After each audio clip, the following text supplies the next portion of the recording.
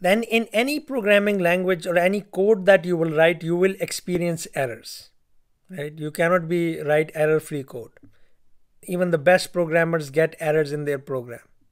The art is to troubleshoot those errors and get your program back to a working order. Okay.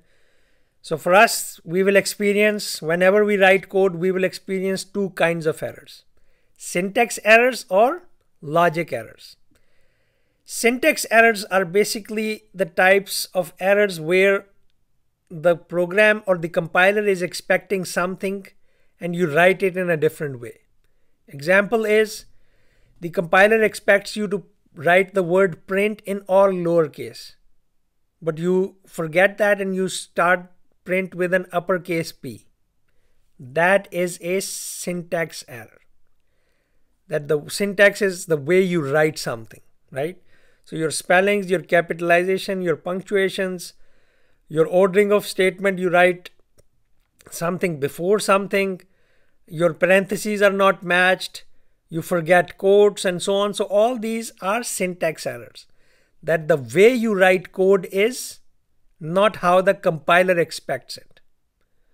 So that is a syntax error. The way you write code is not what the Python compiler is expecting. Okay. Examples are given on this slide. So read this. Then there are other types of errors are logic errors. Now logic errors are the way that you intended your program to be, it's not behaving that way, right? So there is some kind of uh, a problem in the logic of how the program is being running. In your head, you wanted the program to do something. It's doing something related, but it's not working the same way, right? It does run, but it produces unintended results. And it may crash, meaning that it may not work as it's being intended, right? In syntax error, the program may not even run and most likely will not run.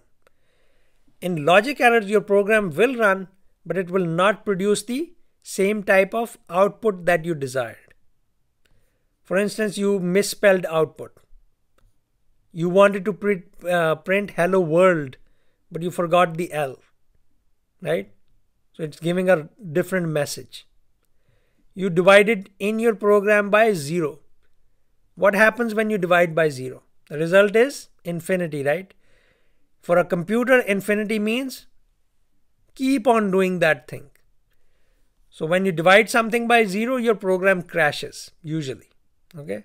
The basic viruses do these kinds of things. You forget to output something. Okay? You forget to remove some line and so on.